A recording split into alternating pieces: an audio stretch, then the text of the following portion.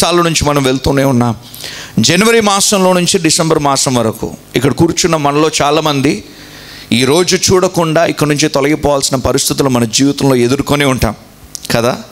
కానీ వాటన్నిటిలో నుంచి దేవుడు మనని విడిపించాడు మనను కట్టాడు మన నిలబెట్టాడు అని అంటే ఒకసారి రెండు చేతుల పైకెత్తి దేవుడి నామాని గనపరుస్తారు హాలలుయ్య మనం ఎన్ని స్థుతులు మనము చెల్లించినా ఎన్ని కోట్లాది వందనాలు మనం అర్పించినా అవి ఇంకనూ సరిపోదండి.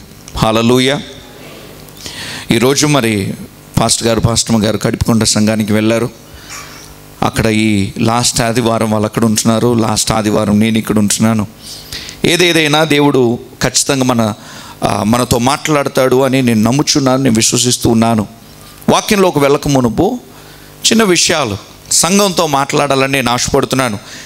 ఏంటనంటే మన జీవితంలో పన్నెండు మాసాలు కూడా మనం చాలా సంతోషంగా మనం ఉన్నాం. ఈ రెండు వేల పద్దెనిమిదో సంవత్సరం అంతా కూడా చాలా చక్కగా అత్తించిపోయింది మనకు కావాల్సినవన్నీ దేవుడు సమకూర్చి మనకు దయచేశాడు. విడుదల కావాలని ప్రార్థన చేసాం విడుదలనిచ్చాడు మనకు స్వస్థత కావాలని ప్రార్థన చేసాం స్వస్థతనిచ్చాడు కొంతమందికి ప్రమోషన్లు కావాలనుకుంటే ప్రమోషన్లు దేవుడు ఇచ్చాడు ఈరోజు సిస్టర్ సాక్ష్యం చెప్పినట్లుగా మా ఇంటి దగ్గర గవర్నమెంట్ ఉద్యోగం కావాలని ప్రార్థన చేసింది దేవుడు అది తనకు దయచేయడం జరిగింది. ఆ రీతిగా ఎన్నో ఆశ్చర్య కార్యములు దేవుడు మన జీవితంలో చేస్తూనే ఉన్నాడు. కానీ పన్నెండు మాసాలు కూడా ఇప్పుడు ఇంకొక రెండు రోజుల్లో సంపూర్ణం అయిపోతుంది ఈ రెండు వేల పద్దెనిమిదవ సంవత్సరం మళ్ళీ మనకు రాదు.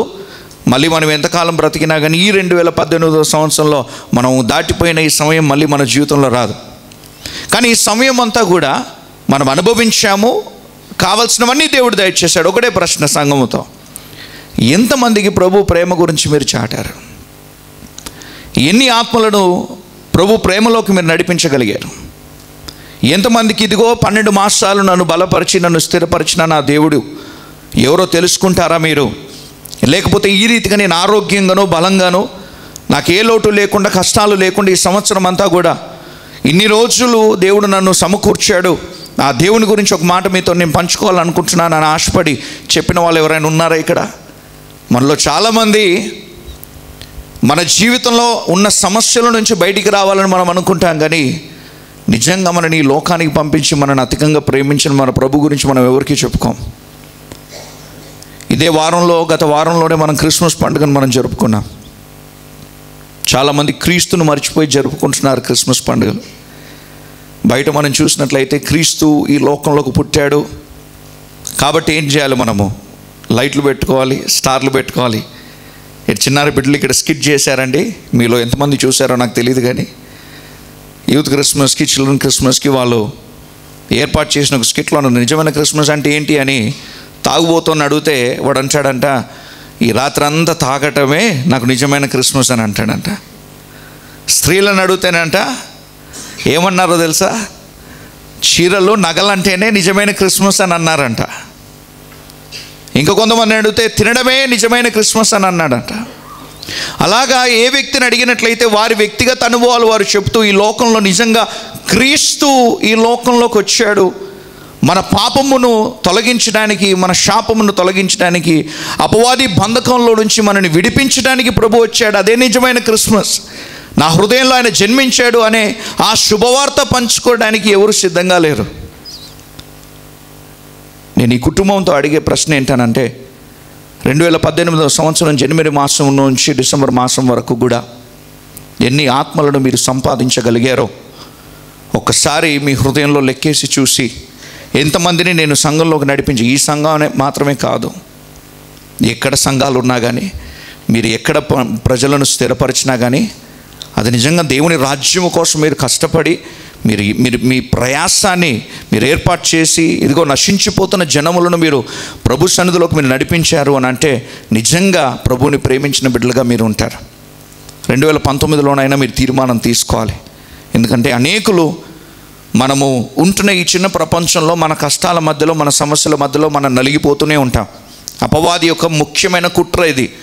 ఈ కుటుంబం అది గుర్తుపెట్టుకోవాలి.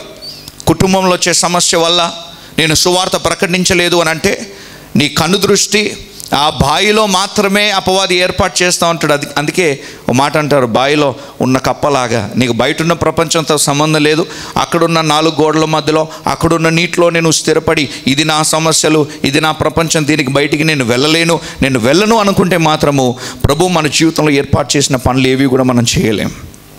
దేవునికి స్తోత్రం. హాలలుయ సమస్యలు ఉన్నా కానీ అవి ఉంటూనే ఉంటాయి. కుటుంబంలో పరిస్థితులు ఉంటూనే ఉంటాయి. నీకు అనారోగ్యం వస్తూనే ఉంటాయి ఉద్యోగంలో నీకు ఛాలెంజెస్ ఏర్పడుతూనే ఉంటాయి ఇవన్నీ జరుగుతూనే ఉంటాయి. అట్ ద సేమ్ టైం దేవునితో పాటు సంబంధం కలిపి ప్రభు ఈ నెలలో నీ కోసము ఇంతమందికి ప్రభు నీ ప్రేమను నేను చాటాను. ఎందుకోసం అంటే ప్రభు అన్నాడు ఈ లోకంలో ఉన్నప్పుడు నేనే మార్గమును నేనే సత్యమును నేనే జీవమని అన్నాడు. మరి ఈ శుభవార్తను మనం ఇతరులకు ప్రకటించడానికి ఎందుకోసం సిగ్గుపడాలి? నేను మాట్లాడే మత మార్పిడి గురించి కాదు. నిజమైన ప్రేమను పరిచయం చేయండి అని చెప్తున్నాను. హాలలుయ ఒక మంచి బిర్యానీ ప్లేస్ పడితే కనుక ఖచ్చితంగా మనం ఫోన్ చేసి చెప్తాం అక్కడ మంచి భోజనం ఉంది అక్కడికి వెళ్ళండి అని అంటాం. హైందవ సహోదరులకు చెప్పమా? ముస్లిం సహోదరులకు మనం చెప్పమా? మన పరిచయం ఉన్న వాళ్ళందరికీ మనం చెప్తాం. చక్కగా డిస్కౌంట్ రేట్లో మంచి బట్టలు దొరుకుతున్నాయి అని అంటే అందరికీ ఆ మేలు జరగాలని చెప్పి మనం ఇతరులకు మనం ఫోన్ చేసి చెప్తూ ఉంటాం. అక్కడికి వెళ్ళండి మంచి బట్టలు ఉన్నాయి. ఈ తాత్కాలికంగా ఈ లోకంలో నశించిపోయే విషయాల గురించే మనము ఇలా ప్రకటిస్తూ ఇతరులతో మనం పంచుకున్నప్పుడు ఈ తాత్కాలికమైన ప్రపంచాన్ని మనం విడిచిపోయి ఒక నిత్య జీవితాన్ని దేవుడు మన కోసం ఏర్పాటు చేశాడు. అక్కడ వెళ్ళడానికి ఇదిగో ప్రభువుని విశ్వసించినట్లయితే మాత్రం చాలు. ఆయన ఎందు నమ్మిక ఉంచినట్లయితే చాలు. ఆయనని నీ హృదయంలోకి ఆహ్వానిస్తే మాత్రం చాలు అని ఎందుకోసం మనం ఇతరులతో మనం చాటడానికి వెనకాడుతున్నాం? ఒక్కొక్క వ్యక్తి ఖచ్చితంగా తీర్మానం తీసుకోవాలి. రెండు వేల పంతొమ్మిదవ సంవత్సరము జనవరి మాసం మొదలుకొని ఖచ్చితంగా ఒక నెల ఒక్క వ్యక్తికి చాలు. కొంతమంది ఏమంటారంటే ఒక రోజు ఖచ్చితంగా ఒక వ్యక్తికి సువార్త అది జరిగే పని కాదు. ఊరికే మన తీర్మానాలు తీసుకొని ఒప్పందాలు చేయటం కంటే కూడా ఒక నెలలో ఒక వ్యక్తికి మీరు సువార్త చెప్పండి. అనగా ఏంటది? ఈ లోకానికి ప్రభు వచ్చాడు. ఇదిగో నీ పాపముల కోసం నీ శాపముల కోసం ఆయన కలువరిశులలో మరణించాడు. నీ కోసము బలిపశువుగా ఆయన మరణించాడు ఇదిగో తిరిగి లేచాడు. నువ్వు విశ్వసించినట్లయితే నీ హృదయంలో చోటు ఇచ్చినట్లయితే నీ జీవితం అద్భుతంగా మార్చబడుతుంది. ఆయనతో పాటు నువ్వు సహవాసం చేయగలుగుతావు అని చెప్పి చిన్న శుభవార్తలు నీ జీవితంలో ఉన్న సాక్ష్యంతో ముడిపడిన సాక్ష్యాలను ఇతరులకు నువ్వు తెలియజేసినట్లయితే అద్భుత రీతిగా దేవుడు మిమ్మల్ని ఆశీర్వదిస్తాడు. మీ ద్వారా అనేకులు రక్షణలోకి వస్తారు. ఆ శుభవార్తను మీరు ప్రచురింప చేయకుండా లేకపోతే మీ సమస్యల మధ్యలో మీరు నలిగిపోకూడదని నేను మనవి చేసుకుంటున్నాను. హాలలోయ క్రిస్మస్ సందర్భంగా మీరు ఖచ్చితంగా మరి దేవుని వాక్యాన్ని మీరు చదివే ఉంటారు. పాస్టర్ గారు మనతో అనేక విషయాలు పంచుకొని ఉంటాడు. కానీ ఈరోజు కూడా కొన్ని విషయాలను నేను దేవుని వాక్యంలో నుంచి మీకు నేను తెలియజేయాలని ఎంతగానో ఆశపడుతున్నాను. అతి వేగంగా మీరు చూసినట్లయితే లూకాసు వార్త రెండో అధ్యాయంలోను రాయబడిన కొన్ని విషయాలను మీకు నేను గుర్తు చేయాలనుకుంటున్నాను. ప్రభు ఈ లోకానికి ఎందుకు వచ్చాడు? ఈ సంవత్సరం అంతా కూడా మనం భయపడుతూనే జీవించుంటామేమో. ఇక్కడ కూర్చున్న చాలామందికి వచ్చే సంవత్సరం ఎలాగ నేను ఫేస్ చేయాలి? కష్టాలు ఉంటాయా నష్టాలు ఉంటాయా మంచి సంవత్సరంగా మార్చబడుతుందా? లేకపోతే నా జీవితంలో ఇంకా శోధనలు ఉంటాయా నా కుటుంబంలో ఐక్యత ఉంటుందా నా బిజినెస్లో లాభం ఉంటుందా నాకు అనారోగ్యం ఉంటుందా ఆరోగ్యం ఉంటుందా అని అనేక సందేహాలు మీ హృదయంలో కలవరాలు తిరుగుతూనే ఉంటాయి. మంచి జీవితం ఉంటుందా రెండు వేల పంతొమ్మిదవ సంవత్సరం ఒక మంచి సంవత్సరమా? క్రైస్తవులకు ఉన్నా కానీ అనేకులు ఏం చేస్తారు తెలుసా? జ్యోతిష్యుల దగ్గరికి వెళ్తారు.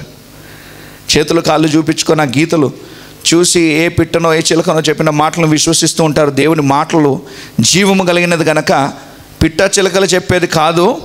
ఇక్కడ సజీవమైన దేవుని యొక్క స్వరమును వినడానికి మీరు సిద్ధంగా ఉన్నట్లయితే మీరు దీని యందు విశ్వసించినట్లయితే మీ జీవితంలో మేలు మాత్రమే దేవుడు కలగజేస్తాడు. హలలుయ కాబట్టి దేవుని వాక్యం ఏమంటుందనంటే లూకాసు వార్త రెండో అధ్యాయము పదో వచనాన్ని మనం చదివినట్లయితే దేవుని దూత పరలోకము బోధిస్తున్న బోధన మనం విందాం. ఏమంటున్నారు ఇక్కడ? అయితే ఆ దూత. భయపడకుడి. ఏమంటున్నారు? భయపడకుడి. హాలలుయ ప్రభు అయిన యేసుక్రీస్తు ఈ లోకంలోకి జన్మించిన తర్వాత పరలోకము బోధిస్తున్న మొట్టమొదటి విషయం ఏంటట? మన హృదయంలో అది తప్పించి వేరేది లేదు. భయం తప్పించి వేరేది లేదు. పరీక్షలంటే భయము వివాహం అంటే భయము పిల్లలంటే భయము ఉద్యోగం అంటే భయము బాస్ అంటే భయము కొంతమంది ఉద్యోగం నుంచి ఇంటికి పోవాలంటే భయము కొంతమంది ఇంట్లో నుంచి ఉద్యోగానికి రావాలంటే భయము. కొంతమంది మందిరానికి రావాలంటే భయము. కొంతమంది బయట మనుషుల మధ్యలో బ్రతకాలంటే భయము. ఇలాగ భయముతో కూడిన జీవితం మనం జీవిస్తున్నాం కానీ ఇదిగో క్రైస్తవులందరికీ శుభవార్త పరలోకం బోధిస్తున్నది ఏంటంట? మీరు మొట్టమొదటిగా భయపడడం మీరు మానేయండి. హాలలుయ ఎందుకోసం ప్రభు ఈ లోకానికి ఎందుకు వచ్చాడంట? ఎటువంటి వర్తమానాన్ని తీసుకొని వచ్చాడు పరలోకము? చదవండి. ఇదిగో. ప్రజలందరికీ కలుగబోవు.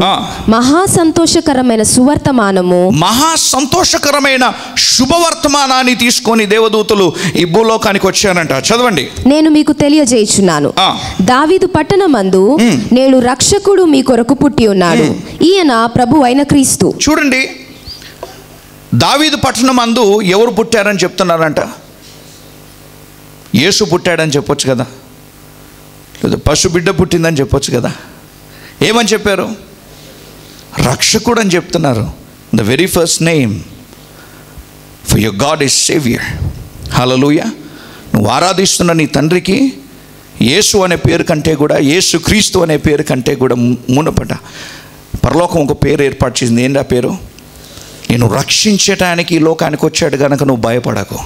Hallelujah you're no more alone నువ్వు ఈ లోకంలో నువ్వు జీవిస్తుండగా నువ్వు ఒంటరివాడిగానో ఒంటరిదానిగా నువ్వు ఇంకా జీవించకూడదు.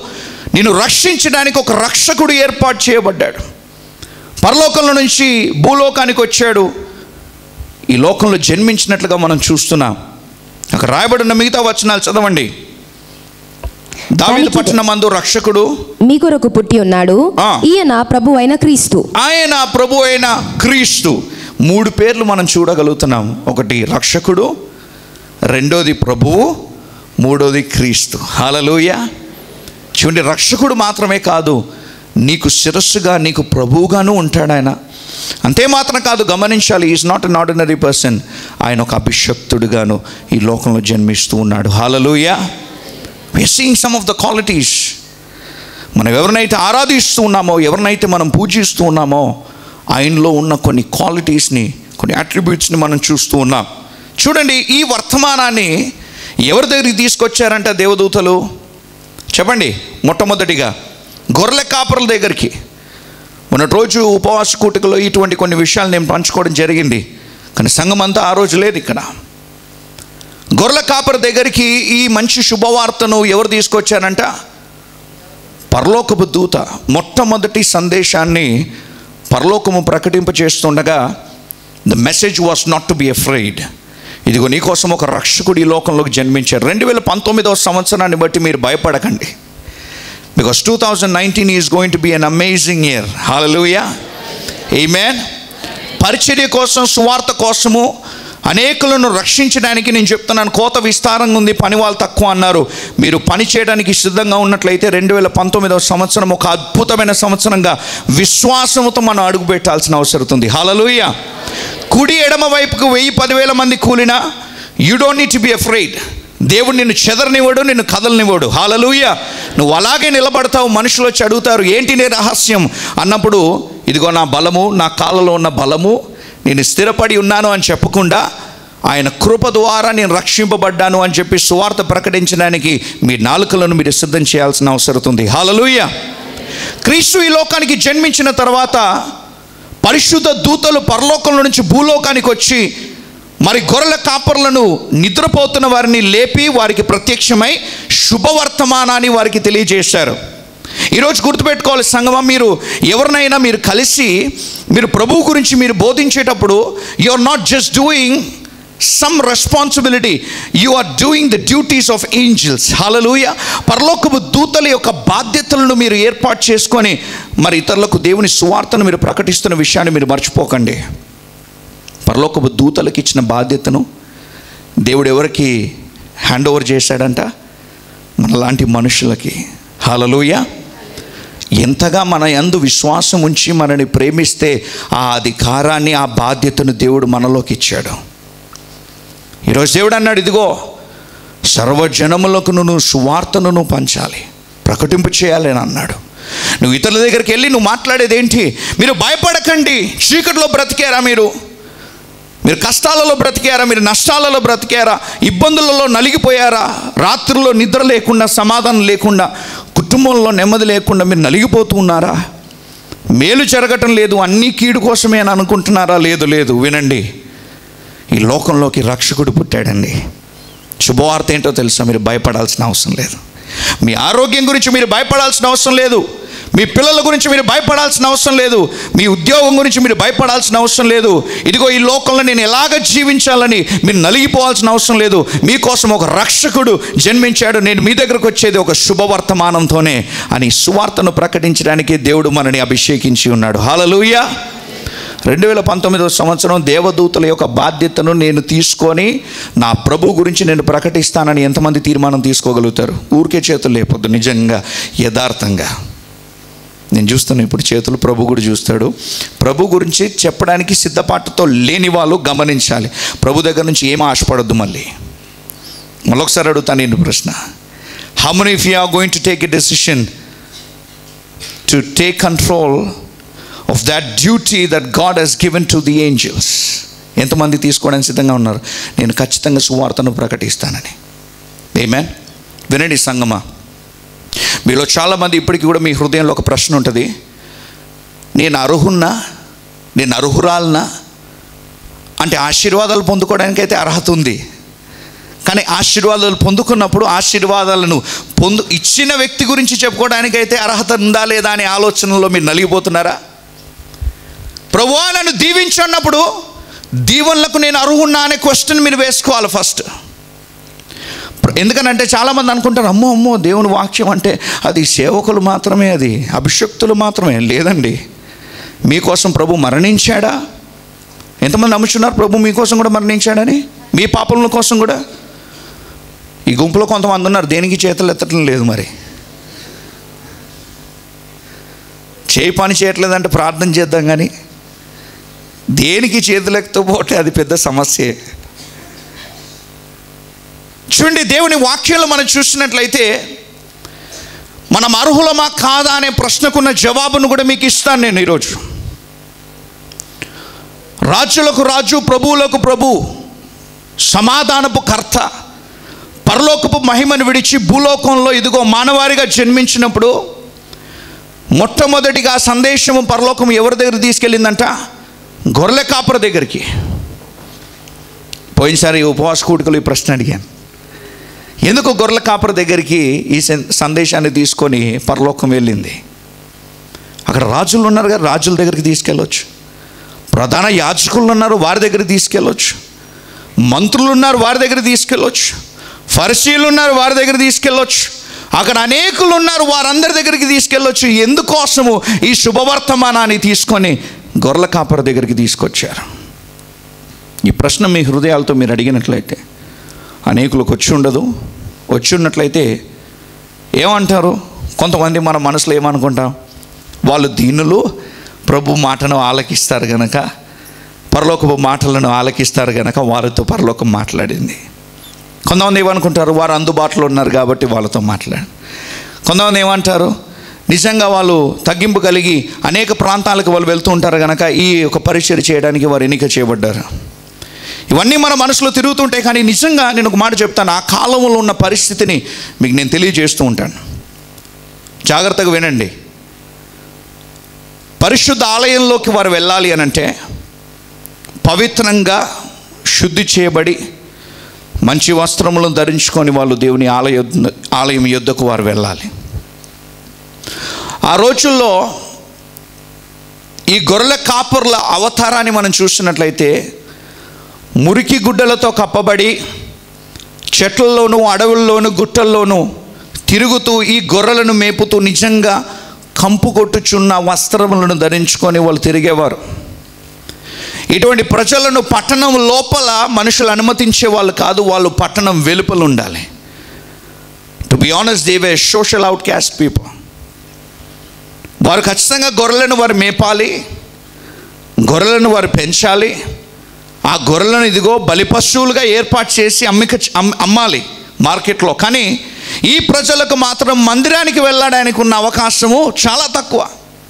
కాబట్టి కొన్ని సంవత్సరాలుగా మనుషుల దగ్గర నుంచి పట్టణం దగ్గర నుంచి ఆలయం దగ్గర నుంచి మురికి గుడ్డలు ధరించుకొని కంపు వాసనతో ఇదిగో ఎంతో దూరంగా కొండల మధ్యలో గుట్టల మధ్యలో తిరుగుతున్న ఈ ప్రజల దగ్గరికి ఎవరు ప్రత్యక్షమయ్యారంట?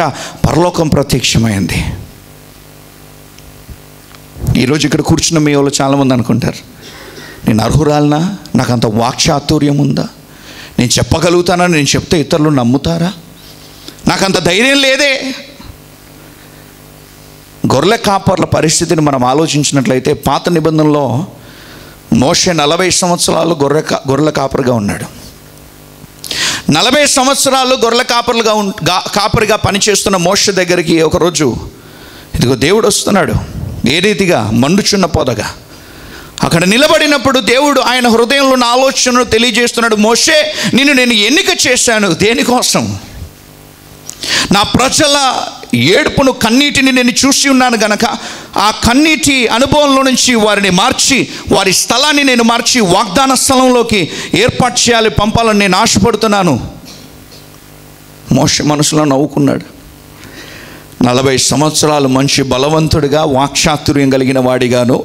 అందంగాను ఇదిగో ఉన్నప్పుడు నన్ను ఎన్నిక చేయకుండా నలభై సంవత్సరాలు ఎడారులోనూ ఈ గొర్రెలను మేపుకుంటూ తిరిగినాక బలహీనుడైపోయిన తర్వాత నన్ను ఎన్నిక చేస్తున్నాడు ఆ దేవుడు? ఆ సమయంలో అంటున్నాడు అయ్యో దేవా ఇంకెవరినన్నా ఎన్నుకో. నా నా నాలిక దొడ్డైపోయింది ఎందుకంటే నేను ప్రజలతో మాట్లాడడం మానేసి చాలా కాలం అయిపోయింది. నేను గొర్రెలతో నేను మాట్లాడుతూ ఉన్నాను. నా నాలుక తిరగదయ్యా నువ్వు అనుకున్నవన్నీ కూడా రాజు సింహాసనం ఎదుట వెళ్ళి ఫరో ముఖమును చూసి మాట్లాడే అంత ధైర్యం నాకు లేదు అంత అర్హత నాకు లేదు. నా వేషమంతా కూడా ఇదిగో వాసనతో మురికితో మునిగిపోయిన ఈ యొక్క గుడ్డలను కప్పుకొని నేను నిలబడుతున్నాను. ఐఎమ్ నాట్ వర్ది ఇంకేమన్నా నువ్వు ఎన్నుకో. దేవుడు మళ్ళీ అంటున్నాడు నిన్నే నేను ఎన్నుకున్నానని. హాలలుయ అలాగా నూతన నిబంధనలో గొర్రెలతో మాత్రమే సహవాసం చేస్తుని గొర్రెల కాపరి దగ్గరికి పరలోకం దిగి వచ్చి నీ నాలిక దొడ్డుగా ఉందా? నీ నాలిక మందముగా ఉందా? నీ నాలిక తిరగదా? స్పష్టంగా నువ్వు మాట్లాడలేకపోతున్నావా? హృదయపు ఆలోచనలను ఎవరు వినలేని పరిస్థితులు ఉన్నారా? ఇదిగో పరలోకం నిన్ను ఎన్నిక చేస్తుంది. దేనికోసము? పరలోకపు వర్తమానాన్ని ఇదిగో పట్టణంలో ప్రకటించడానికి దేవుడు నిన్ను ఏర్పాటు చేస్తున్నాడు. హాలలుయా ఈ మురికి గుడ్డలతో కప్పబడి తృణీకరింపబడ్డ ఎక్కడో దూరంగా బ్రతుకుతున్న ఈ మురికి వాసన కంపు వాసన కొడుతున్న ఈ గొర్రెల కాపర్లతో దేవదూతలు ఇస్తున్న సందేశం ఏంటనంటే ఒక ప్రత్యేకమైన విషయం కూడా చెప్తున్నారు. చదువుదాం. ఏమని రాయబడి ఉందో చూద్దాం. అక్కడ పదకొండవ వచనం ఒకసారి చదవండి మళ్ళీ. దావీదు పట్టణమందు నేడు రక్షకుడు మీ కొరకు పుట్టి ఉన్నాడు. ఈయన ప్రభు అయిన క్రీస్తు. దానికిదే మీ కానవాలు. దానికి ఇదే మీకు ఆనవాలు ది- ఇదే మీకు సూచన. ఏంటంట? ఒక శిశువు. పొత్తిగుడ్డలతో చుట్టబడి ఒక తొట్టిలో పండుకొని ఉండుట మీరు చూచెదరని వారితో చెప్పెను. చూడండి ఇదిగో ఒక చిన్న పసిబిడ్డ దేనితో చుట్టబడానంట? గుడ్డతో చుట్టబడి. మీరు వెళ్తున్న పశువుల పాకలో పరుండబెట్టిన ఆ దృశ్యాన్ని మీరు చూడటము అదే మీకు సూచన అని చెప్పినప్పుడు నిజంగా వాళ్ళు ఒకసారి అనుమానించవచ్చు ఇది నిజమేనా ఇది కాదా ఇది సత్యమా ఇది అబద్ధమా? కానీ చూడండి వాళ్ళందరూ ఒక తీర్మానం తీసుకుంటారు. ఏంటా తీర్మానం? మనం చూసినట్లయితే పదిహేను వచనం నుంచి చదవండి ఆ దూతలు ఆ దూతలు తమ యొద్ద నుండి తమ యుద్ధ నుంచి పరలోకమునకు వెళ్ళిన తర్వాత ఆ. గొర్రెల కాపర్లు ఆ గొర్రెల కాపర్లు జరిగిన ఈ కార్యమును. ప్రభువు మనకు తెలియజేయించి ఉన్నాడు చూడండి వారి విశ్వాసము చూడండి పరలోకం నుంచి చెప్పబడిన మాటలను అనుమానించలేదు కానీ వారు దాన్ని ఎందు విశ్వసించారు వెంటనే అంటున్నారు ప్రభు నిశ్చయముగా మనతోనే మాట్లాడాడు ఆ విశ్వాసం వారు హృదయంలో కలగగానే వారు ఏం చేశారు అని అంట ఆ వాక్యానికి విధేయతను చూపారు ఏం చేశారు చదవండి మనం బెత్లహేం వరకు వెళ్ళి బెత్లహేము వరకు మనం వెళ్ళి చూతము రండని చూద్దుము రండి అని ఒకరితోనొకడు చెప్పుకొని. త్వరగా వెళ్ళి. మరియా యోసేపును. తొట్టిలో పండుకొని అన్న శిశువును చూచిరి చాలు వారన్న పరలోకము బోధించిన బోధను వారు ఆలకించడం మాత్రమే కాదు దాన్ని విశ్వసించడము విశ్వసించడం మాత్రమే కాదు ఇదిగో ప్రభు మనతో మాట్లాడాడు. మనం ఖచ్చితంగా ఈ వాక్యానికి విధేయులుగా మనం ఉండాలి అని ఆ వాక్కుకు విధేయులుగా వారు అక్కడి నుంచి లేచి ఎక్కడికి వెళ్ళారంట? బెత్లహేముకు వెళ్ళి మరియను యోసేపును అక్కడ పరుండి చేసిన ఆ పశువుల పాకలో ఉన్న ఆ పసిబిడ్డను కూడా వీరు చూశారంట. చూసిన తర్వాత వారి హృదయాలలో ఒక మార్పు జరిగింది. చదువుదాం. వారు. చూచి. ఈ శిశువును గూర్చి. తమతో చెప్పబడిన మాటలు ప్రచురం చేసిరి. చాలు. ప్రకటించారనంట. హాలలుయ. అనగా ఆ శిష్యును చూసిన వెంటనే వాళ్ళ హృదయంలో ఒక ప్రత్యేకమైన మార్పు కలిగింది. ఏంటి ఆ మార్పు?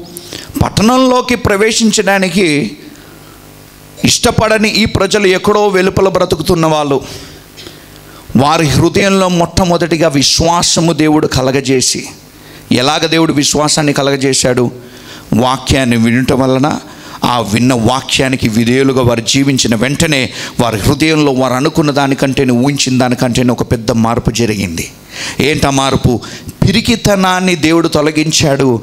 మంచి బలము ధైర్యాన్ని దేవుడు ఆ హృదయంలో స్థిరపరిచినట్లుగా చూస్తున్నాం. వెంటనే గొర్రెల దగ్గరికి వాళ్ళు వెళ్ళలేదు కానీ ఎక్కడికి వెళ్ళారని అంట. ఈ శుభవార్తను తీసుకొని అనేక ప్రాంతాలకు వాళ్ళు వెళ్ళి ఇదిగో మన కోసము రక్షకుడు ఈ లోకంలో జన్మించాడనే శుభవార్తను వాళ్ళు ప్రకటింప చేస్తారనంట హాలలుయ ఈరోజు మనము కూడా దేవుడిచ్చినటువంటి ప్రతి ఆశీర్వాదాలను మనం అనుభవిస్తూ ఈ లోకంలో మనం జీవిస్తుండగా మన చుట్టుపక్కల ప్రాంతాల్లోనూ మన పక్కన ఉంటున్న ఆ ఇళ్ళల్లో ఉన్న మనుషులు వ్యక్తులు వాళ్ళందరూ నశించిపోతుండగా హృదయంలో కొంచెం కూడా మనకు కలవరం లేదా?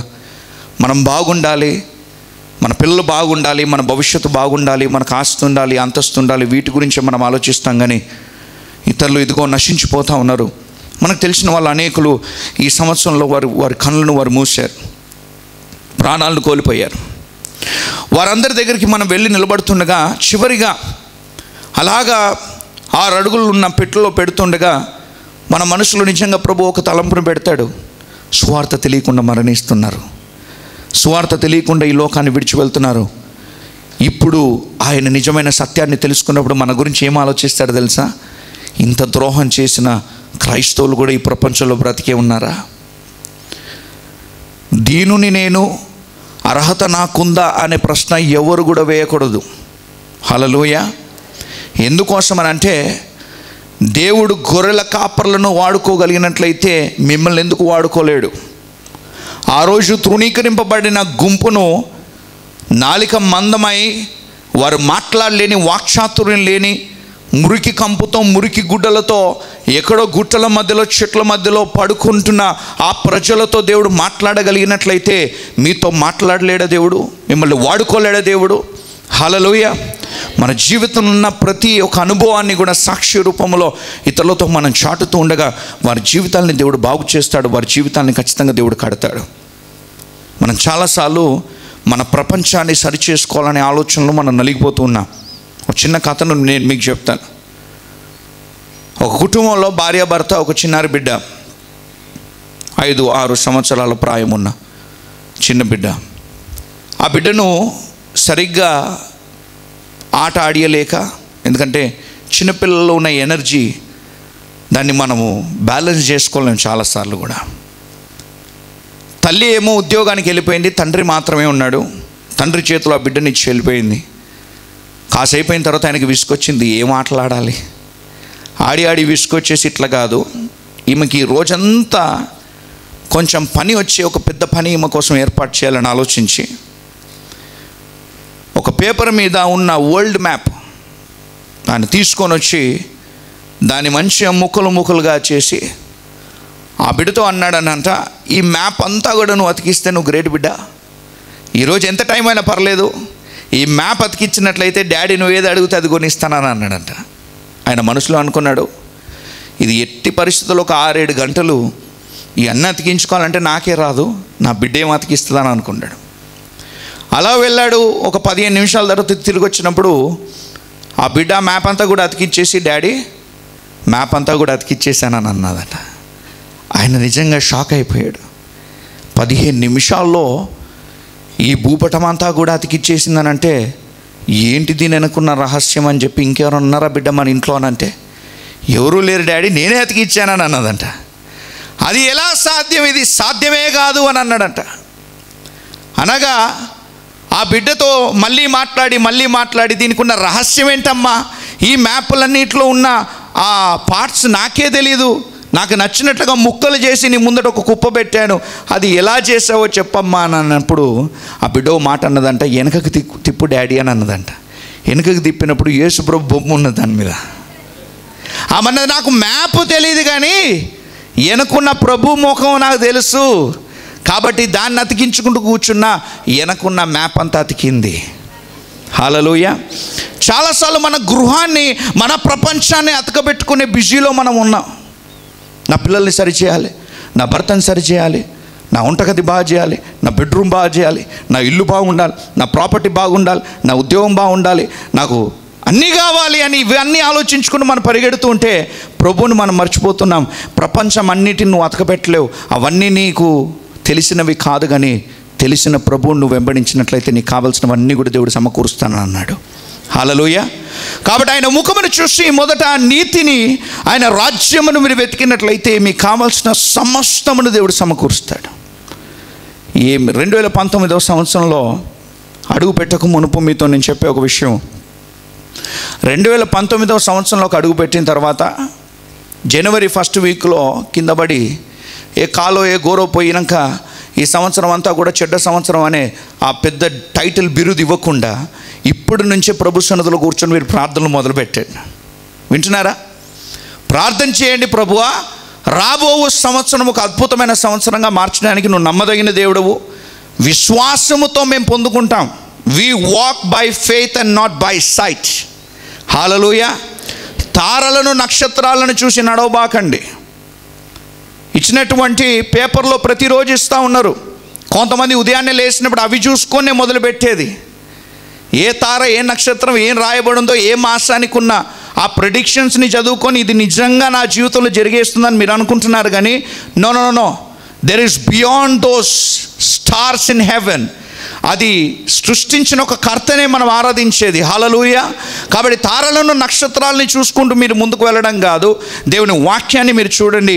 చూసిన వాటిని బట్టి కాదు కానీ విశ్వాసంతో మీరు అడుగులు వేయండి. రెండు వేల పంతొమ్మిది సంవత్సరం ఎవరు ఏం చెప్పినా కానీ నేను చెప్తున్నాను that is going to be a beautiful year for revival Christian centre and also for the kingdom of God hallelujah hallelujah విశ్వాసముతో అడుగులు వేయడం మనం నేర్చుకుందాం. దేవుడు అద్భుతాలు జరిగింపచేస్తాడు. ఉదయాన్నే జనవరి ఫస్ట్ రోజు ఇక్కడ అయిపోగానే ఆరాధన ఇంటికి వెళ్తుండగా ఎవరైనా తుమ్మినా? ఎవరైనా దగ్గినా రంగుల రంగుల పిల్లులను చూసినా? కుక్కలను చూసినా? చూసి వెంటనే అయ్యో అయ్యో అని చెప్పి మాట్లాడకండి. విశ్వాసముతో తీర్మానాలు తీసుకోండి. హలలోయ పాతవన్నీ కూడా గతించిందండి. ప్రభులో నాటబడినట్లయితే the new has come your new creation ఒక నూతనమైన సృష్టిగా దేవుడు నేను మార్చి ఉన్నాడనే విష్ విషయాన్ని మనం మర్చిపోకూడదు. హలలోయ చూడండి ఆనాడు కూడా ప్రభు ఈ లోకంలో జన్మించినప్పుడు ఒకసారి మీరు ఆలోచించండి. నిండు గర్భిణీగా తొమ్మిది మాసాలు బిడ్డను మోసుకుంటూ నడుస్తున్న ఒక స్త్రీ. సత్రవు దగ్గరికి వెళ్ళి తలుపులు కొడుతూ ఉన్నది. యోసేపు తలుపులు కొడుతూ ఉన్నాడు దయచేసి. కొంచెం చోటు ఇవ్వండి నా భార్య నిండు గర్భిణిగా ఉంది. రాత్రి చలిగా ఉందండి బయట. కాస్త కొంచెం విశ్రాంతికి స్థలాన్ని ఇస్తారా? అని అడిగినప్పుడు ఆయన ఏమన్నాడు తెలుసా? సత్రములో చోటు లేదని అన్నాడంట. ఒకసారి మనం అది మనం ఒక మూవీగా అది చూపించినట్లయితే మన రక్తాలన్నీ కూడా ఉడికిపోయి నా ప్రభువుకు నువ్వు చోటు ఇవ్వలేదా? ఎంత దుర్మార్గురాలివి ఎంత దుర్మార్గుడివి నువ్వు. అని చెప్పి మనం అనుకుంటాం కానీ రెండు వేల సంవత్సరాల తర్వాత కూడా పరలోకం ఇదే విషయం మనతో అంటుంది. ఈరోజు నీ హృదయంలో కూడా నీ సత్రంలో నీ హృదయంలో చోటు లేదు అని అంటున్న క్రైస్తవులు చాలామంది ఉన్నారు ఈ లోకంలో. అదేంటి? క్రీస్తుతో మాకు సంబంధం ఉంది కదా. సంబంధం ఉంది క్రీస్తుతో నీకు కానీ సహవాసం లేదే. హాలలుయ క్రీస్తుతో సంబంధం పెట్టుకుంటే చాలదు నీకు సహవాసం చాలా ముఖ్యమైనది. కాబట్టి నేను ప్రభుని సొంత రక్షకునిగా అంగీకరించాను అంటే సరిపోదు.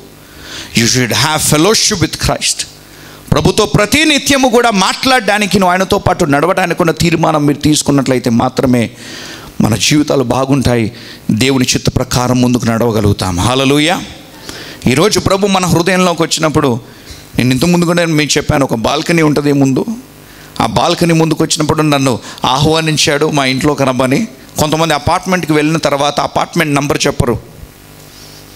వీళ్ళు ఎక్కడండి వీళ్ళు ఎక్కడండి వీళ్ళు ఎక్కడండి అని చెప్పి కనుక్కుంటూ తిరగాలి. అలాగే ప్రభువు కూడా మన హృదయానికి వచ్చినప్పుడు బాల్కనీలో నిలబడతాడు.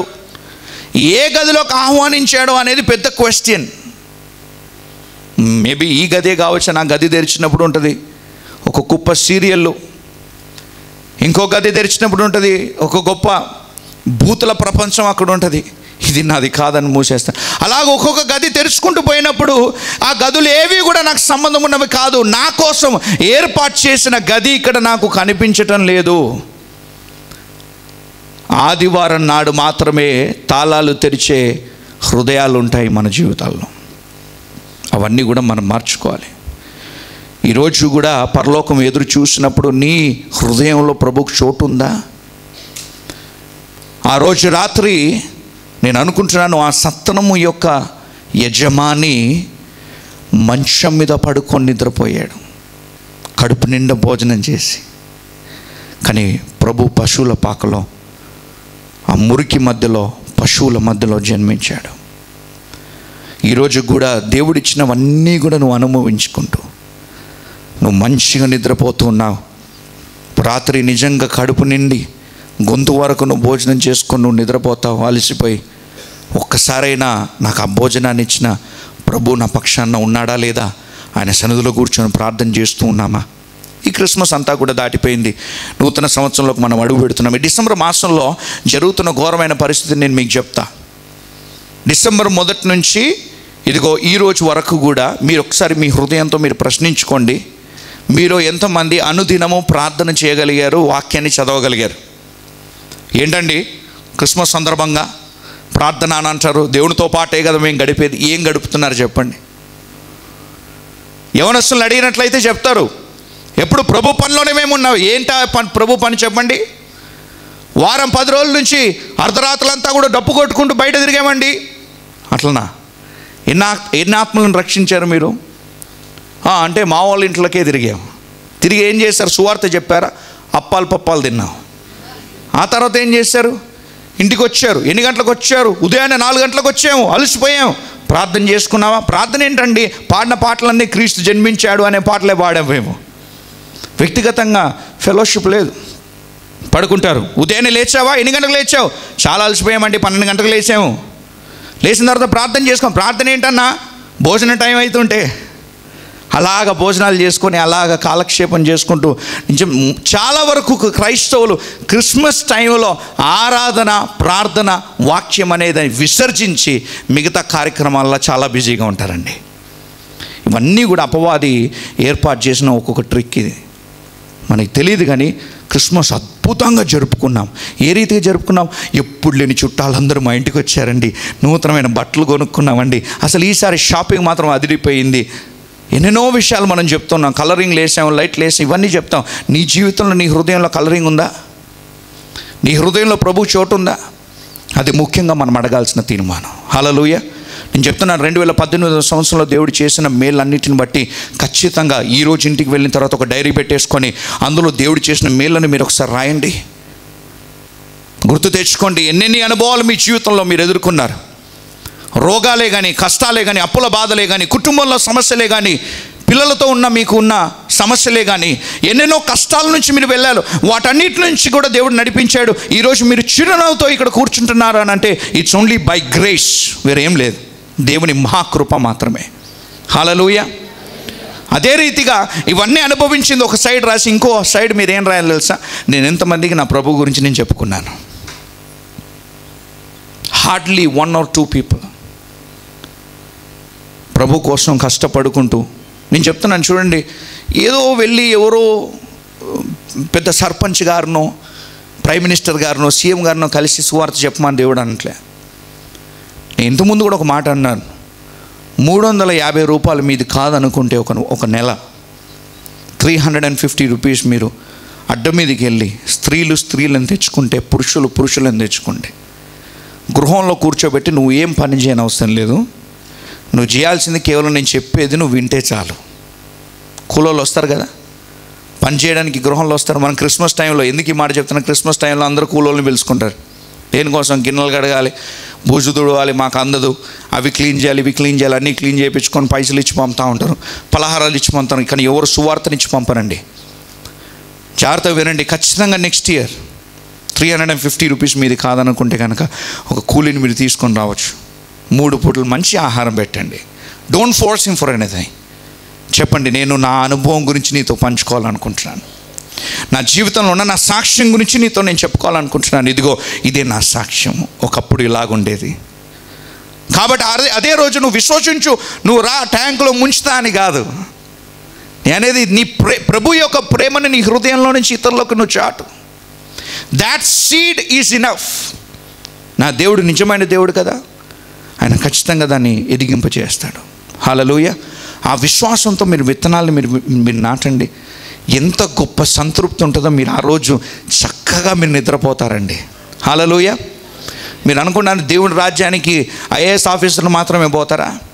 దీనులు దరిద్రులు అడుక్కొని తినేవాళ్ళు కూడా వీధుల్లో పరు పనుకొని పండుకొని ఉంటున్న ఆ ప్రజలు కూడా దేవుని రాజ్యం వాళ్ళదే. వారు విశ్వసించినట్లయితే. అందుకే దేవుడు ఏం చేశాడు? లాజర్ ధనవంతుని కథను చెప్పాడు. ధనవంతుడు ఎక్కడ కూర్చున్నాడంట? లాజర్ ఎక్కడ కూర్చున్నాడంట?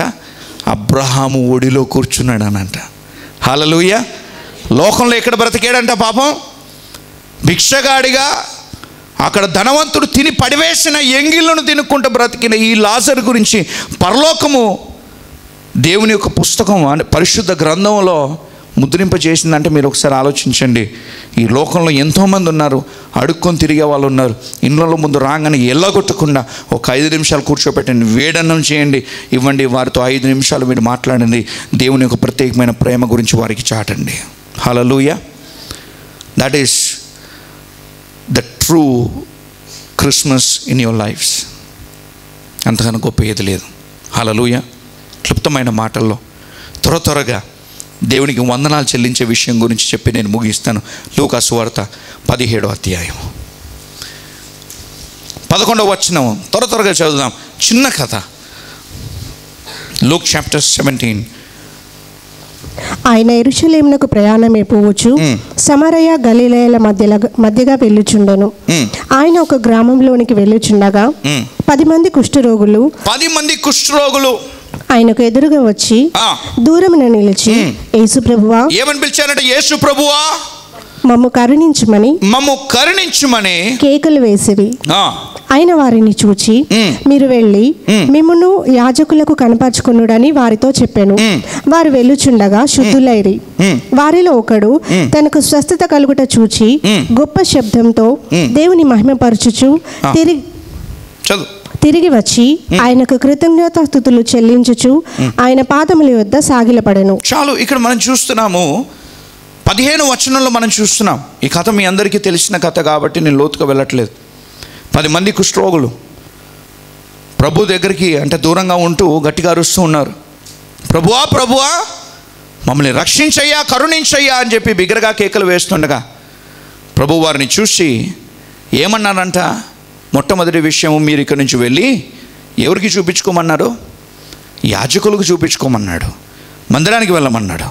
చూడండి అక్కడికి వెళ్తూ ఉండగానే స్వస్థత జరగగానే ఆ పది మందిలో ఒక వ్యక్తి తిరిగి పరిగెత్తుకుంటూ వచ్చాడంట. బిగరగా కేకలు వేసుకుంటూ దేవుణ్ణి స్థుతిస్తూ అక్కడికి వచ్చి సాగిలపడి నమస్కరించి దేవుని ఆరాధించినట్లుగా మనం చూస్తూ ఉన్నాం. మన కుటుంబంతో నేను చెప్పాలనుకున్న విషయము రెండు వేల పద్దెనిమిదవ సంవత్సరంలో నీ జీవితంలో అనేక మేళ్ళను నువ్వు అనుభవించే ఉన్నావు. కుటుంబంలోనూ వ్యక్తిగత జీవితంలోనూ నీ ఆత్మీయ జీవితంలోనూ శారీరకంగా మానసికంగా ఆర్థికంగా అన్ని విషయాల్లో దేవుడు నీకు కృపను చూపాడు. ఎన్నో అద్భుతాలు జరిగాయి కానీ ఇలాగా దేవుని ఆరాధించే మనసు కలిగి ఉన్న వాళ్ళు చాలా తక్కువ మంది. ఆరాధనకు వస్తూ ఉండగా మనం కేవలము నిలబడడం మాత్రమే కాదండి. ఎవరో చేతులు పైకి ఎత్తండి అన్నప్పుడు ఎత్తడం కాదు. ఎవరో దింపండి అన్నప్పుడు దింపడం కాదు. ఎవరో స్తుతించండి అన్నప్పుడు స్తుతించడం కాదు. మనకి ఎవరు అవసరం లేదండి. ఊపిరి మనము ఎవరైనా చెప్తేనే తీసుకుంటున్నామా? ఊపిరి మనకి ఎవరైనా చెప్తేనే మనం వదులుతున్నామా? వెన్ దాట్ ఈస్ హ్యాపెనింగ్ దేవుని యొక్క ప్రతి ప్రతి ఒక్క క్షణము మనని దేవుడు ప్రేమిస్తున్నాడు అన్నదానికి ఉన్న ఆ సింబల్ ఏంటి అని అంటే మన శ్వాసే. మనం పిలుచుకుంటున్నాము మనం వదులుతున్నాము. It is working just like that అన్కండిషనల్గా దేవుడు మనని ప్రేమిస్తూ ఉన్నాడు. అనేక దీవలను మనం పొందుకున్నాము కానీ if you are really grateful to God నిజంగా నీ హృదయంలో కృతజ్ఞతా భావము దాగి ఉన్నట్లయితే అది ఆరాధన రూపంలో బయటికి రావాల్సిందే. Hallelujah gratefulness thankfulness and gratitude it produces worship ఒకసారి ఆలోచించండి. కుష్ఠరోగముతో నలిగిపోతున్న ప్రజల జీవితం ఎంత ఘోరమైందో తెలుసా? ఆ రోజుల్లో పాత నిబంధన కాలంలో వారు దూరంగా ఉండాలి మనుషులకు మనుషులు ఎవరైనా దగ్గర నుంచి వెళ్తే గనక అపవిత్రుని అపవిత్రుని అపవిత్రుడని ఖచ్చితంగా అరవాలంట. నా దగ్గరికి రావద్దు నేను కుష్టి వ్యాధి కలిగిన వాడిని వారి పరిస్థితి ఎంత ఘోరంగా దిగజారిపోయేదేనంటే శరీరంలో ఉన్న నరాలకు నర్వ్ ఎండింగ్స్కి సెన్సేషన్ లేకుండా తాకినప్పుడు స్పర్శ తెలియకుండా ఉండి అలాగ నిద్రపోతున్న కుష్టి వ్యాధి కలిగిన వారు. ఇళ్ళలో పడుకోలేరు. కుటుంబానికి దూరం అయిపోతారు వారి సమాజానికి దూరం అయిపోతారు కన్న పిల్లలకు దూరం అయిపోతారు వారి ఆస్తికి దూరం అయిపోతారు జీవితానికే దూరం అయిపోయి ఎక్కడో అడవిల్లో బ్రతికే ఈ కుష్టివ్యాధి కలిగిన ప్రజలు రాత్రి నిద్రపోతూ ఉంటే ఎలుకలు పందికోకులు వచ్చి వారి గోరంచులు వేలంచులు తినివేసేది. స్పర్శ తెలియకుండా అలాగే పడుకొని నిద్రపోయేది. ఉదయాన్నే లేచినప్పుడు కాళ్ళ గోర్లు కనిపించవు వేళ్ళు కనిపించవు చేతులకు వేళ్ళు కనిపించవు. ఏమైపోయింది? రక్తము దారులుగా ప్రవహిస్తుంది కానీ ఎటువంటి స్పర్శ లేని అనుభవం. అలాగా కుష్ఠవ్యాధితో బాధపడి ప్రపంచానికి సమాజానికి దూరంగా బ్రతుకుతున్న ఈ కుష్టి రోగం. అది కలిగి ఉంటున్న ఈ వ్యక్తి జీవితంలో ఎన్నో సంవత్సరాలుగా వారు ఏ రీతిగా బ్రతికారో తెలియదు కానీ పది కుష్టి వ్యాధి కలిగిన వాళ్ళు. ప్రభు దగ్గరకు వచ్చి బిగ్గరగా కేకలు వేసినప్పుడు ఆయన ఏమన్నాడు అని అంటే మీరు ఇక్కడి నుంచి బయలుదేరి ఎక్కడికి వెళ్ళమన్నాడు? యాజకుల దగ్గరికి వెళ్ళండి. ఎందుకోసము? మిమ్మల్ని పరీక్షలిస్తారు మనమైతే ఏం చేస్తాం? అక్కడ నిలబడి. ప్రభువా కుష్టి వ్యాధి పోలేదు. అక్కడనే ఉన్నది. యాజకుల దగ్గర పోతే కనుక రాళ్ళతో కొడతారు దూరం నుంచి. అది పోయినాక పోతాం ప్రభు మనమందరం అదే అంటాం కదా? ప్రభా నా జీవితంలో కనుక నువ్వు ఈ మేలు చేస్తే నేను సాక్ష్యం చెప్తా. ప్రభా నా జీవితంలో ఈ అద్భుతం చేస్తే నేను సాక్ష్యం చెప్తా. ప్రభా నా నిజంగా నాకు ఇది కలగజేస్తే నేను సాక్ష్యం చెప్తాను. నేను ఒక ప్రత్యేకమైన కానుక వేస్తా. ఎప్పుడు? నువ్వు నాకు ఈ విడుదల ఇచ్చినప్పుడు. నేను ఒక ప్రత్యేకమైన కార్యం చేస్తాను. ఎప్పుడు? నాకు ఈ అద్భుతం జరిగినప్పుడు. అంతేగాని ముందుగా వెళ్ళి ప్రభా నువ్వు ఈ కార్యం చేయబోతున్నందుకు విశ్వాసముతో ఏర్పాటు చేస్తున్న నా హృదయాన్ని నువ్వు చూస్తున్నందుకు నీకు వందనాలు. విశ్వాసముతో నీకు వందనాలు చెల్లిస్తున్నాం. ప్రతి ఆరాధనకు కూడా నీకు మేలు కలిగితే మాత్రమే కాదు దేవుని సన్నిధిలో నువ్వు ఆరాధించాల్సింది. మేలుకు కలగబోతున్నందుకు దేవుని నువ్వు ఆరాధించాలి. హలలుయ విశ్వాసముతో by faith you have to learn to worship God ఇక్కడ మనం చూస్తున్నాము ఆయన విశ్వాసముతో ఆ వాకులు వినగా ఎక్కడికి వెళ్తున్నాడంట? ప్రధాన యాజకుని దగ్గరికి ఆయన నడుచుకుంటూ వెళ్తున్నాడు. కుష్టి వ్యాధి అలాగే ఉంది. కానీ ప్రతి అడుగులో కూడా ఒక అడుగు వేసినప్పుడు చేయి స్వస్థత పొందింది. ఇంకొక అడుగు వేసినప్పుడు ఈ చేయి స్వస్థత పొందింది. ఇంకొక అడుగు వేసినప్పుడు కాళ్ళు స్వస్థత పొందుతున్నాయి. ఇంకొక అడుగు వేసినప్పుడు తల ముఖం అంతా కూడా మారిపోతుంది. ఇంకొక అడుగు వేసినప్పుడు ఛాతిలో ఉన్న కుష్టి వ్యాధి తొలగిపోతుంది. ఇంకొక అడుగు వేసినప్పుడు వీపులో ఉన్న కుష్టి వ్యాధి తొలగిపోతుంది. ఇంకొక అడుగు వేసినప్పుడు చర్మం అంతా కూడా మార్చబడుతుండగా పది సంవత్సరాలుగా కొన్ని సంవత్సరాలుగా నలిగిపోతున్న ఈ కుష్టి వ్యాధి తొలగిపోయి ఇదిగో సామాన్యమైన అద్భుతమైన ఈ చర్మం మళ్ళీ తిరిగి రావటం చూసి ఎలాగ దేవుణ్ణి సన్నిధిలో ఆనందించలేకపోయాను. పది మందిలో తొమ్మిది మంది అటే పోయారండి. ఈరోజు మన జీవితంలో కూడా ఏదైనా మేలు జరిగిందంటే ఏం చేస్తాం? ప్రమోషన్ వచ్చిందంటే ఫస్ట్ భార్యకి ఫోన్ చేస్తాం. ప్రమోషన్ వచ్చిందంట. కారు కొన్నామంటే వెంటనే ఎవరు ఫోన్ చేస్తాం? ఇంటి వారికి ఫోన్ చేస్తాం. పాస్టర్ గారికి ఫోన్ చేస్తూ ఉంటాం. దేవునికి వందనాలు చెప్పే వాళ్ళు చాలా తక్కువ మంది. ఆ రీతిగా వారి వారి ఇంటికి వెళ్ళి సెలబ్రేషన్ చేసుకుంటుండగా ఒక వ్యక్తి మాత్రం తిరిగి పరిగెడుతూ ఉన్నాడు. అక్కడ దాకా వెళ్ళి నా ప్రధాన యాజకుడు వెనకనే ఉన్నాడు. హాలలుయ ఆయన ఆల్రెడీ సర్టిఫై చేశాడు. That is enough let me go back పరిగెత్తడం మొదలుపెట్టాడు. దేవుని స్తుతించాడు. దేవునికి వందనాలు చెల్లించాడు. ఇదిగో ఆయన దగ్గరికి వెళ్ళి సాగిలపడి నమస్కరించి ఆరాధన చేయడం మొదలుపెట్టాడు. నిజంగా నీ జీవితంలో దేవుడు అద్భుతాలు చేశాడో నువ్వు నమ్మినట్లయితే నీ ఆరాధన రీతి మారాల్సిందే. స్తుతించమని ఎవరు చెప్పాల్సిన అవసరం లేదు. స్తోత్రాలు చెప్పమని ఎవరు అనాల్సిన అవసరం లేదు. ఎందుకంటే ఒకప్పుడు నీ పరిస్థితిని ఆలోచించినప్పుడు అయ్యో నేను ఇక్కడ ఉండాల్సిన వ్యక్తిని కాదు. I am not worthy to be here ఆర్థికంగా నేను ఎప్పుడో నలిగిపోవాల్సిన వ్యక్తిని. అప్పుల పాలై ఎప్పుడో బచారు పాలవలసిన నా జీవితాన్ని దేవుడికి నిలబెట్టాడే. అనారోగ్యంతో ఎప్పుడో నలిగిపోవాల్సిన నా జీవితాన్ని ఇక్కడ నిలబెట్టాడే. మా కుటుంబంలో సమస్యలు వచ్చి పోలీస్ స్టేషన్ల చుట్టూ తిరుగుతూ కోర్టు కేసుల చుట్టూ తిరుగుతూ నలిగిపోవాల్సిన మా సాక్ష్యాలను దేవుడు ఇక్కడ నిలబెట్టాడే. దేవా నీకే వందనాలయ్యా. ఎలాగ మర్చిపోగలుగుతాను. హలలుయ కానీ మనుషులుగా మమ మనం అవన్నీ మర్చిపోయి సమస్యలు లేనప్పుడు మళ్ళీ బ్యాక్ టు సత్రంలో చోటు లేదు ప్రభువా. సమస్యలు ఉన్నప్పుడు అయితే అందరినీ ఖాళీ చేసి రావయ్యా రావయ్యా. ఎంతకాలం మనం అలాగ బ్రతకగలుగుతాం? Two thousand nineteen let it be an year of having fellowship with lord not just relationship but having fellowship ప్రభు నాకు పరిచయం అనడం కంటే కూడా ప్రభుతో నేను సహవాసం చేస్తూ ఉన్నాను. అనేది చాలా ముఖ్యం. హలలోయ ఇక్కడ దేవుని వాక్యాన్ని మనం చూసినట్లయితే ఆరాధన చేయడానికి ఎందుకు ఒక కారణం జరిగింది? ఏంటి ఆ కారణము? ఒక అద్భుతం జరిగింది కనుక ఆరాధన పుట్టుకొచ్చింది. ఈ విషయంతో అందరూ ఏకీభవిస్తాను అద్భుతాలు జరిగితే ఆరాధన చేస్తాను అద్భుతం ఏంటి? కొన్ని సంవత్సరాలుగా నలిగిపోతూ ఆ కుష్టి వ్యాధి తొలగింపబడిందని. కానీ ఆ అద్భుతం ఎప్పుడు జరిగింది? చెప్పండి. ఒబీడియన్స్ ప్రొవైడ్స్ మిరకల్స్ హలలుయా దేవుని వాక్యానికి విధేయులుగా మీరుంటుండగా అద్భుతాలు ఆ విధేయత మన జీవితంలో కలగజేస్తున్నారు దేవునికి స్తోత్రం. హలలుయ వాక్యం వినుట మాత్రమే కాదు ఆ వాక్యాన్ని విశ్వసించి వాక్యపరంగా మీరు జీవించాలనే తీర్మానం మీరు తీసుకున్నప్పుడు వాక్యానికి విధేయులుగా మీరు మార్చినప్పుడు మీ జీవితంలో మీకు అసాధ్యమైనది వాక్యము సాధ్యపరచబోతున్నది. హాలలుయ రెండు వేల పంతొమ్మిదవ సంవత్సరంలో మీరు తీసుకోవాల్సిన తీర్మానం అదే. I'm going to be a true follower of Christ ఎలాగా? కేవలం పేరు మార్చుకుంటే సరిపోదు. బాప్తిజం తీసుకుంటే సరిపోదు. నిజంగా వాక్యాన్ని ప్రేమిస్తూ దేవుని ప్రేమిస్తున్న ఒక బిడ్డవైతే నువ్వు వాక్యాన్ని గౌరవించి వాక్యపరంగా జీవించడానికి ఉన్న తీర్మానాన్ని నువ్వు ఖచ్చితంగా తీసుకోవాలి. వాక్యం వినడం మాత్రమే కాదు. గమనించండి ఆరాధనకు వచ్చి ఇక్కడ విని తీర్మానాలు తీసుకొని ఇంటికి పోయిన తర్వాత ఈ గడప తొక్కిన తర్వాత మన జీవితం మార్చబడద్దు. It should be the same ఇక్కడ తీసుకుంటున్న తీర్మానం ఇంట్లో కూడా అదే తీర్మానంగా ఉండాలి. హలలుయ చాలామంది ఇళ్ళలోకి క్యారల్స్కి ఈసారి వెళ్ళాం. కొన్ని ఇళ్ళకి మన మన మన మందిరం కాదు మన చర్చ్ గురించి చెప్పట్లేదు.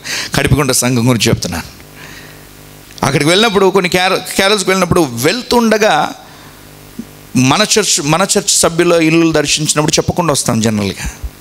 అక్కడ ముందే వాళ్ళు చెప్పుకున్నారు కాబట్టి నీట్గా అన్నీ సదిరిపెట్టారు. సాధారణంగా వెళ్ళేటప్పుడు చెప్పకుండా వెళ్ళినట్లయితే పాస్టర్ గారు వచ్చారు. సంఘ సభ్యులు వచ్చారు అని అంటే ఐదు ఐదు నిమిషాల్లో రూపురేఖలు మార్చేస్తారు. ఇల్లు మొత్తం అది తలకిందలు చేసేస్తారు. ఒక రూమ్ మొత్తం చెత్త నింపేసి అక్కడ బయట అన్నీ కూడా చేసేసి టీవీ ఛానళ్ళు మార్చేసి సౌండ్లు తగ్గించేసి ఆరాధన పెట్టి హాలీలే టీవీలు పెట్టి అన్నీ మార్చేస్తారు. నేను అంటున్నాను నిజంగా ప్రభు మీ గృహంలో నివసిస్తే లేకపోతే పాస్టర్ గారు ఈరోజు మూట చదువుకొని ఇక నుంచి ఒక పదిహేను రోజులు మీ ఇంట్లో ఉంటానని వస్తే మీరు ఏ రీతిగా మీరు ప్రవర్తిస్తారో ఆ రీతిగా మీరు ప్రవర్తించండి. రెండు వేల పంతొమ్మిదవ సంవత్సరం అద్భుతంగా దేవుడు మారుస్తాడు. హలలోయ కొన్ని అలవాట్లకు కొన్ని విషయాలకు we have to shake good bye two thousand ఎయిటీన్లో మీ జీవితంలో ఉన్న బలహీనతలు. ఒకసారి ఇవాల్యుయేట్ చేసుకోండి. కుటుంబంలో సమస్యలు ఎందుకు వచ్చాయి? వ్యక్తిగతంగా మనలో ఉన్న అహంకారమా? గర్వమా? మన మాటలా? ఏవి అడ్డుగోడకు నిలబడ్డాయి? ఎందుకోసము కుటుంబంలో కలహాలు వచ్చాయి? ఎందుకోసం పిల్లల మధ్యలో అసమాధానం కలిగింది? ఎందుకోసం ఆర్థికంగా మనం చక్కగా లేము? ఎందుకోసం ఎటువంటి సేవింగ్స్ లేదు? వాట్ షుడ్ వి డూ ఏ విషయంలో ఏది మనం చేసుకుంటే బాగుంటుందనే తీర్మానాలు ఇప్పుడు తీసుకోవాలి. మనకి ఇంకా రెండు రోజులు మాత్రమే. తీసుకొని దేవుణ్ణి అడగాల ప్రభువా రెండు వేల పద్దెనిమిదిలో నేను చేసిన తప్పులను మళ్ళీ పంతొమ్మిదిలో ఐ షుడెంట్ బి రిపీటింగ్ నీ కృపను దయచేయండి. మా జీవితాన్ని చక్కగా పెట్టుకోవాలి మా కుటుంబాన్ని చక్కగా పెట్టుకోవాలి మా ఆత్మీయ జీవితాలు చక్కగా ఉండాలి. ఈ టూ టూ థౌజండ్ నైన్టీన్లో మీరు తీసుకోవాల్సిన decision I will definitely wake up in the morning morning అన్నప్పుడు ఎస్ తొమ్మిది గంటల గురించి నేను మాట్లాడట్లేదు. నిజంగా ఒక డిసిప్లిన్ మీరు పెట్టుకొని ఆరు గంటల లోపే మీరు లేచి చక్కగా దేవుని సన్నిధిలో కూర్చొని ప్రార్థన చేసి అలవాట్లోకి మీరు రావాలి. సంఘం కట్టబడుతుంది మీ వ్యక్తిగత జీవితాలు కట్టబడతాయి. సంఘం నింపడం కంటే కూడా మన హృదయం ప్రభుత్వం నింపబడేది ముఖ్యమైన అవసరత. హాలలోయ ఆ తర్వాత సంఘం నింపబడడం. ఆ తర్వాత యూనో ఎక్స్టెండింగ్ అవర్ టెరిటరీస్ కానీ మన హృదయం ఫస్ట్ బాగు చేయబడాలి. దానికోసం ఉన్న తీర్మానాలు మీరు తీసుకోవాలి. దేవుడు ఖచ్చితంగా ఆయన ఏర్పాటు చేసిన ఆశీర్వాదాలను మనకు మన దేవుడు దయచేస్తూ ఉంటాడు. హాలలోయ ఇక్కడ మనం చూస్తున్నాం ప్రభు అంటున్నాడు మీరు వచ్చింది పది మంది స్వస్థత పొందింది పది మందే కదా మిగతా వాళ్ళేది? ఆ పది మందిలో తిరిగి వచ్చిన వాడు సమరేయుడు అంట ఆ తొమ్మిది వాళ్ళు కూడా యూదులే. చాలాసార్లు దేవుని అధికంగా ప్రేమించే ప్రజలే కృతజ్ఞతలు చెప్పకుండా టేక్ ఇట్ గ్రాంటెడ్ అని చెప్పి వెళ్ళిపోతూ ఉంటారు. చెప్తున్నాను రెండు వేల పద్దెనిమిదవ సంవత్సరంలో దేవుడు మీకోసం చేసిన మేలేవి కూడా దయచేసి మర్చిపోబాకండి. ఆయన లేకుండా మనం ఏమీ కాదు. యోహాన స్వార్థ పదిహేనులో రాయబడినట్లుగా నేను నిజమైన ద్రాక్ష వల్లిని మీరు తీగలు మాత్రమే. ఆయన లేకుండా మనం ఫలించలేము. అధికంగా ఫలించడానికిను అధికమైన దీవెనలు పొందుకోవడానికి మనకు ఖచ్చితంగా ప్రభువు మనకు తోడుగా ఉండాలి. విషయాన్ని మనం మర్చిపోకూడదు. చివరిగా ఒక మాట చెప్పి నేను ముగిస్తాను. బర్త్డే గిఫ్ట్లు అయినా పెళ్ళికి పోయినప్పుడైనా కానీ మనం చక్కటి బహుమానాలు పట్టుకొని పోతాం. బహుమానాలు పట్టుకొని పోయినప్పుడు ఖచ్చితంగా దానికి ఒక ఐదు రూపాయల గిఫ్ట్ గిఫ్ట్ గిఫ్ట్ వ్రాపింగ్ వేస్తామా లేదా? వేస్తాం కదా మనం అందరం. ఆ గిఫ్ట్ వ్రాపింగ్ ఎంత అద్భుతంగా ఉన్నా కానీ గిఫ్ట్ తెరిచేటప్పుడు ఐదు సెకండ్లు వచ్చించి అవతల పడేస్తారు. దాన్ని పట్టుకుంటాం మళ్ళీ. ఎవరైనా గిఫ్ట్ కవర్లు దాచిపెట్టుకునే వాళ్ళు ఉన్నారా ఇక్కడ? కలవాలని ఆశపడుతున్నాను. మనం ఎవరం దాచుకోం. అది ఎంత బాగున్నా కానీ ఎంత మంచి క్షమక్షమకున్న పేపర్ ఉన్నా దాన్ని జింపేసి బయట పడేస్తాం. ఎందుకనంటే ఈ బయట ఉన్న కాగితం పెద్ద ఖరీదైనది కాదయ్యా లోపల ఏముందో చూడాలి కాబట్టి. నువ్వు బయట ఎంత అలంకరణ చేసినా నీ గోడల చుట్టూ వాక్యాలు అతికించుకున్నా బయట పెద్ద సిలువ గుర్తులు వేసుకున్నా అందరికంటే గొప్ప పెద్ద రంగుల స్టార్ నీ ఇంటి బయట నువ్వు పెట్టుకున్నా ఇవన్నీ ప్రభు చూసేది కేవలం కవరింగ్ లాగానే. అవి తీసి ఇలా బయటపడేస్తాడు నీ లైట్లు నీ కలరింగ్ ఇదంతా కాదు కానీ నీ హృదయంలో ఏముందనేది ప్రభు చూస్తాడు. హలలుయ కాబట్టి రెండు వేల పంతొమ్మిదిలో బయట కలరింగ్ కంటే కూడా మన హృదయం చక్కగా దేవుని సన్నిధిలో సమర్పించుకొని బాహ్యమైన రూపము మనుషులు చూస్తారు కానీ మా హృదయాన్ని చూడువాడు నీవు నీవే గనక. ప్రభా మా హృదయాన్ని చూస్తుండగా నిన్ను ప్రీతిపరిచే మనస్సును మాకు దయచేయమని ప్రభు సన్నిధిలో మనం కోరుకుందాం. మనం అందరం ఒక నిమిషం లేచి నిలబడదాం. మనం కలిసి మనం ప్రార్థన చేద్దాము. ఈ సంఘాన్ని దేవుడు ఎంతగానో ప్రేమిస్తున్నాడు. మనందరినీ కూడా దేవుడు స్థిరపరిచాడు. ఈ సంవత్సరంలో మన ప్రాణాలని దేవుడు మన చేతిలోకి అప్పగించాడు. ఆయన సంరక్షించాడు. మనకు కావాల్సిన ప్రతి వనరులను కూడా దేవుడు సమకూర్చి మనకు దయచేసాడు కనుక ఆయన ఇచ్చిన మేళ్ళను ఆశీర్వాదాలను మనం మర్చిపోకుండా ఒక నిమిషము మన ప్రభు సన్నిధిలో మన హృదయాల్ని మనం సమర్పించుకుందాము. ఆయనతో మనం మాట్లాడుతూ ప్రభు ఆ రెండు వేల పద్దెనిమిదిలో అనేక తప్పులు మా జీవితంలో జరిగే ఉంటాయి. అనేక సార్లు ప్రభు తెలిసి తెలియకుండా చేసిన తప్పులు పొరపాట్లు మా జీవితంలో ఉన్నాయి. కానీ వాటన్నిటిని కూడా నువ్వు మన్నించి ఈరోజు చివరి ఆదివారం నాడు మేము మళ్ళీ కుటుంబముగా కలిసి ఉండడానికి మాకు ఇచ్చినటువంటి తరుణాన్ని బట్టి నీకు వందనాలయ్యా. మా సంతానాలు దీవింపబడ్డారు. మా కుటుంబము ఆశీర్వదింపబడింది. ఉద్యోగ రంగంలో చక్కగా మేము ఉన్నాము. మా ఆరోగ్యం చక్కగా ఉంది. మాకు కావాల్సినవన్నీ మేము కోరుకున్నవన్నీ కూడా మీరు సమకూర్చి మాకు దయచేశారు. నీకు వందనాలు ప్రభు అని ఒక్క నిమిషం చేతులు పైకెత్తి దేవుని సన్నిధిలో మీరు స్థుతి అర్పణలు మీరు అర్పించగలుగుతారా? దేవుడు చేసిన మేళ్ళను ఉపకారములు మీరు మరవకుండా ఈ లోకం నుంచి మనము నిజంగా మార్చబడాల్సిన వాళ్ళము ఈ లోకంలో నుంచి మనము వేరైపోవాల్సిన వాళ్ళము కానీ ఈ సంవత్సరంలో ఎన్నో ఆపదలు ఎన్నో అడ్డుగోడలు ఎన్నో కుట్రలను అపవాది ఏర్పాటు చేసిన వాటి దేంట్లో కూడా పడిపోవడానికి దేవుడు అనుమతించకుండా ఆయన రెక్కల కింద మనని కాచి కాపాడాడు గనుక దేవుని సన్నదులు మన హృదయాన్ని సమర్పించుకుందాము థ్యాంక్ యూ లాడ్ ఒక నిమిషం దేవునికి స్తుతి అర్పణలు మనం చెల్లిద్దాం Oh, we worship you, Jesus. Father, we thank you, Lord. Father, we thank you, Jesus. ఒక నిమిషం ఆయన చేసిన మేలను ఉపకారం బట్టి దేవునికి వందనాలు చెల్లించండి ఆయన స్తుతికి పాత్రుడుగాను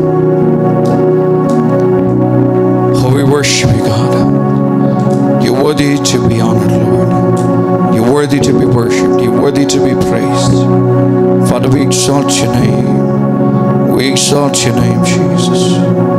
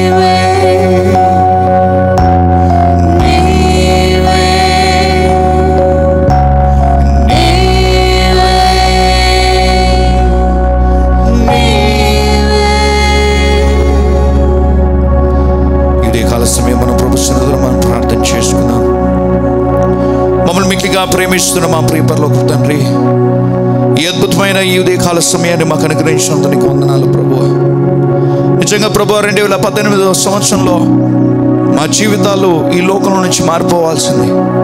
అనేక సందర్భాల్లో కూడా ప్రభు అడుగులు తప్పటడుగులు వేసినా కానీ మమ్మల్ని మన్నించి మమ్మల్ని ప్రేమించి మాకు తోడుగా నిలబడిన దేవానికి వందనాలు.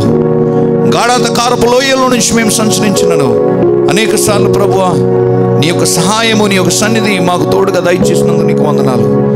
ఈరోజు ప్రత్యేకించి ప్రభా నీ బిడ్డలను బట్టి నీకు వందనాలు.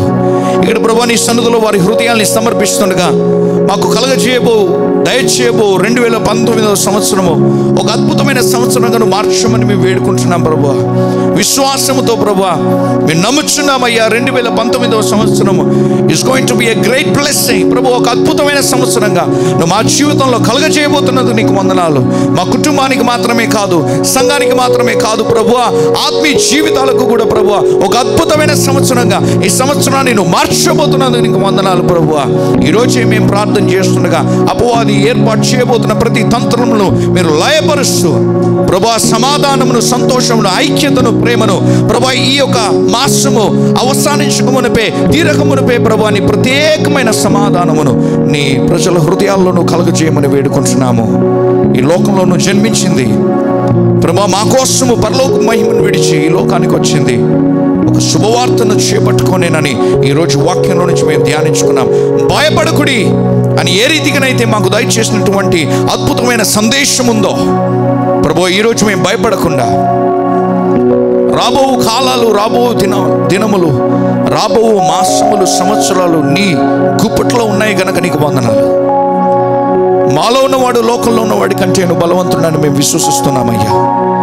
ఈరోజు ప్రభువా మేము విన్న వాక్య ప్రకారము స్తుతించే అనుభవము ప్రభు కృతజ్ఞత భావము కలిగిన హృదయంలో నుంచి ఏ రీతిగానైతే వస్తుందో ఆరాధన అనేది ప్రభువా కృతజ్ఞత భావం కలిగిన హృదయంలో నుంచి ప్రభు ఏ రీతికినైతే బయలుదేరుతుందో ఈరోజు మా హృదయాల నుంచి కూడా ఆరాధన అనుభవాన్ని ప్రభువ నువ్వు కలగజేయమని వేడుకుంటున్నా ప్రభువ నీ సన్నదిలో మేము నిలబడుతుండగా నేను ఆరాధించడానికి నువ్వు నేను గణపరచడానికి నువ్వు నిన్ను స్థుతించే ప్రత్యేకమైన అనుభవంలోకి ఈ సంఘాన్ని నువ్వు ముందుకు నడిపించమని వేడుకుంటున్నా. మా జీవితంలో చేసిన ప్రతి మేళ్ళను ఉపకారములు బట్టి నీకే స్థుతులు స్తోత్రాలు చెల్లిస్తూ చిన్న ప్రార్థన ప్రభు యేసుక్రీస్తు నామంలో అడిగి వేడుకున్నా పరమ తండ్రి. ఆమెన్ ఆమె